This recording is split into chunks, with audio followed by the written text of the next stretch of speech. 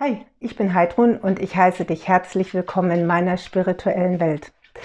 Heute mal wieder eine Frage, die mir schon öfter aus der Community gestellt wurde und die ich auch von früher aus meinen Beratungen recht gut kenne. Nämlich was tun, wenn die Dualseele sehr viel älter oder jünger ist als man selber. Und tatsächlich ist es gar nicht so selten, dass es vorkommt, dass dort ein massiver Altersunterschied vorherrscht. Und wenn ich von einem massiven Altersunterschied spreche, da meine ich jetzt nicht fünf oder zehn Jahre, sondern tatsächlich 30, 35 oder 40 oder sogar noch mehr Jahre.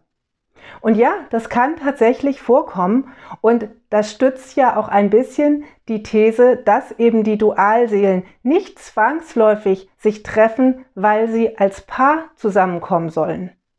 Was natürlich auch kein Hinderungsgrund sein muss, denn wie wir ja wissen, ist Liebe eben ja auch alterslos. Und es ist aber trotzdem eine große Herausforderung, wenn man plötzlich so einem Menschen gegenübersteht und man erkennt, wow, da ist eine ganz besondere Liebe, aber es könnte zum Beispiel dein Großvater sein oder du könntest die Großmutter dieses Menschen sein. Und das ist eben etwas, ja, was viele Menschen dann in dem Moment erstmal natürlich komplett überfordert, weil sie sagen, ja, bitte, wie soll denn das jetzt funktionieren oder was sollen wir denn jetzt machen? Und daran zeigt sich aber eben, worum es bei diesem Dualseelenthema oder auf diesem Weg eben wirklich geht, nämlich letztendlich die Liebe zu erkennen und sie auch anzunehmen, egal in welcher Form auch immer sie sich dir zeigt.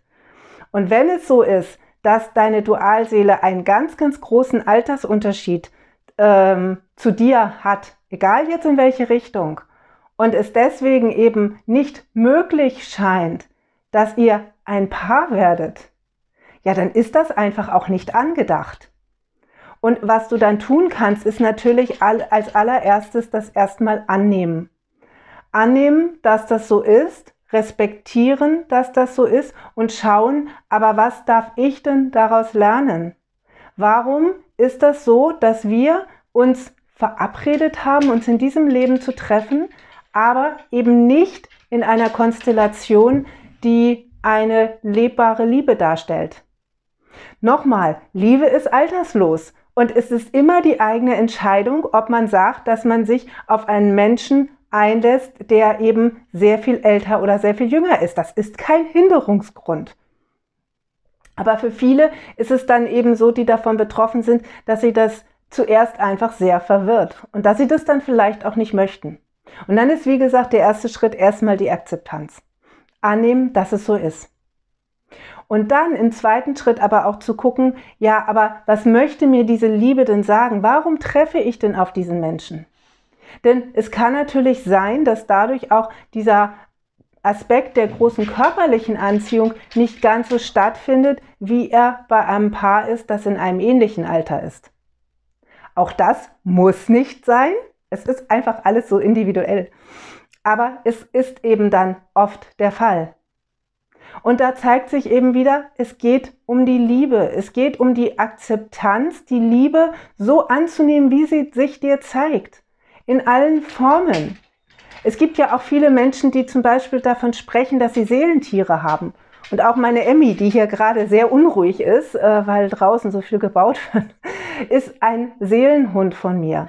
Sie ist nicht meine Dualseele. Aber ich habe auch das schon gehört, dass Menschen gesagt haben, dass sie in ihrem Tier ihre Dualseele gefunden haben. Oder in einem Elternteil. Also das heißt, es ist einfach sehr, sehr viel möglich. Und es geht doch einfach darum, die Liebe zu entdecken und die Liebe in allen Facetten zuzulassen und zu leben. Und genau deswegen kommt ja auch die Dualseele in dein Leben, um dir zu zeigen, dass du beim Thema Liebe Blockaden hast, dass da etwas geheilt werden möchte. Dass du dein Herz wirklich öffnen darfst und dass du es bisher nicht hundertprozentig getan hast. Und dieser Weg wird ja angestoßen durch diese Begegnung. Und ja, es ist vielleicht ein Stück weit leichter, wenn das jemand ist, den du auch als deinen Partner oder deine Partnerin in Betracht ziehen könntest und wo du einfach dann sehr schnell auf diesen Weg gestoßen wirst, weil ja eben durch die Dinge, die passieren, einfach ja, du keine andere Chance mehr hast, als deine Themen anzuschauen. Aber auch wenn es einen Altersunterschied geben sollte, der gravierend ist, wirst du dennoch durch diese Begegnung auf deinen Kern zurückgeworfen. Du wirst mit genau den Themen konfrontiert, die dich betreffen und die für dich wichtig sind, sie durch diese Begegnung zu lösen und zu heilen. Und deswegen geht es eben wirklich nur über Akzeptanz und dann eben auch über eine Selbstreflexion zu gucken, ja, und was möchte mir das jetzt zeigen? Und es ist ja auch möglich, mit dieser Person vielleicht eine andere Art von Bindung aufzubauen. Oft ist es ja eben auch so, dass diese Paare überhaupt nicht ihr Leben miteinander verbringen, sondern eben immer nur zeitweise zusammentreffen und dann wieder getrennt werden. Und so kann es eben auch hier sein. Es ist aber eben auch möglich, dass ihr äh, zusammentrefft und dass dort eine andere Art von Bindung stattfindet, die eben deswegen ja auch nicht weniger schlecht sein muss. Das ist ja dieses, wir geben dem Ganzen immer gerne einen Stempel. Ja, es muss immer irgendwie ein, ein Label drauf sein, damit wir es in eine Kategorie einordnen können. Das ist das etwas, was mich in meinem Leben schon immer gestört hat, weil auch mich wollte man immer gerne in Schubladen packen und ich lasse mich aber einfach nicht in eine Schublade packen, was mir oft dann eben auch Probleme bereitet hat weil es in unserer Gesellschaft so ist. Auch das kann man dann annehmen. Und so ist es auch hier. Wir haben ein Konzept erschaffen, was uns das erklärt und dann wird das Label da drauf gepackt, Dualseele. Und dann wissen wir, woran wir sind und was wir damit zu tun haben. Ja, leider ist es dann eben so, dass die wahren Dinge nicht erkannt werden und es eben, ja, um einen Weg geht, der dann leider sehr, sehr manipulativ ist und ähm, Oft erkennt man erst am Ende des Weges, okay, eigentlich geht es ja um andere Dinge. Aber das ist dann letztendlich auch egal, weil das ist dann eben dein Weg gewesen, wenn du den äh, ähm, eben so gehst. Nur deswegen ist es mir ja immer wichtig zu sagen, da gibt es viele Dinge, die einfach so nicht stimmig sind und es geht im Grunde um andere Dinge. Das ist zumindest meine ganz, ganz feste Überzeugung. Und wenn es eben so ist, dass dort ja alleine durch die, durch die Rahmenbedingungen keine Paarbeziehung möglich wäre, dann geht es eben darum, das anzuerkennen und zu sagen, okay, dann ist das so und dann schaue ich, was ich jetzt daraus zu lernen habe. Denn die Liebe ist ja dennoch da. Die Liebe hat ja auch nichts damit zu tun, in welcher Gestalt dieser Mensch oder diese Seele zu dir kommt und in welchem Alter sie ist. Das ist ja nur die körperliche Hülle die natürlich eine große Rolle spielt, denn wir sind auch visuelle Wesen und natürlich ist das wichtig. Ja, aber dennoch geht es um die Liebe. Und die kannst du entwickeln, beziehungsweise da kannst du an deinen Themen arbeiten, egal wie deine Dualseele zu dir kommt. Und deswegen bleibt eben nur dieser Weg. Akzeptanz und dann zu schauen, und was darf ich daran lernen? Denn du wirst unweigerlich auf deinen Weg gebracht. Du wirst unweigerlich mit deinen Themen konfrontiert werden durch diese Begegnung und diese Themen dann nicht wegzuschieben, sondern wirklich anzunehmen und eben auch zu schauen, okay, und warum ist das jetzt so, dass es eben in solch einer Form zu mir kommt, dass da diese tiefe Liebe und wahrscheinlich auch diese große Anziehung ist und dennoch ist es etwas, was unter Umständen eben nicht gelebt werden kann.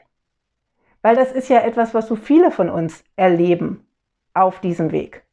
Was irgendwann vielleicht mal ist, ob irgendwann noch mal der Punkt kommt, an dem ihr als Paar zusammenkommen könnt, das sei mal dahingestellt.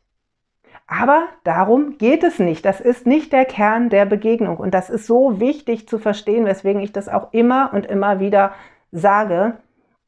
Denn da ist eben einer der großen Irrtümer, denen so viele aufsitzen, ich ja auch zu Beginn, dass ich dachte, ja, es geht darum, meine Themen zu heilen, um dann irgendwann mit diesem Menschen in eine Beziehung zu gehen.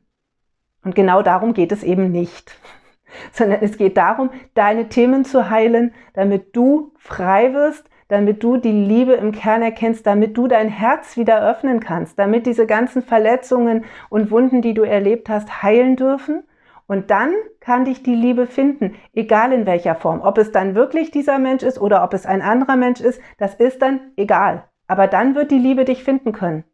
Aber erst dann. Und dafür ist es halt wichtig. Und deswegen ist es letztendlich auch egal, in welcher Form diese Seele zu dir kommt. Ja, das war mir einfach wichtig, dieses Thema nochmal etwas genauer zu beleuchten, da es, wie gesagt, ein Knackpunkt ist, der viele betrifft. Und da es natürlich auch erstmal ja, zu Verwirrung führt. Und das ist auch völlig verständlich. Und wenn du auch Frage an mich hast, das muss gar nicht unbedingt zum Thema Dualseelen sein.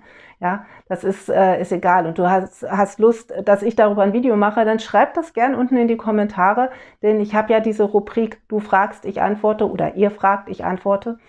Und ja, ich freue mich natürlich eben einfach auch, wenn ich Videoideen kriege und weiß, das sind Dinge, die euch eben wirklich interessieren, beziehungsweise wo dann eben auch wirklich der Bedarf besteht, weil ansonsten kann ich natürlich immer nur von mir ausgehen und dem, was ich beobachte. Aber wenn ich konkrete Fragen habe, macht es mir das auch ein Stück weit leichter und ja, es hilft dir und anderen ja sicherlich auch einfach besser mit der Situation klarzukommen.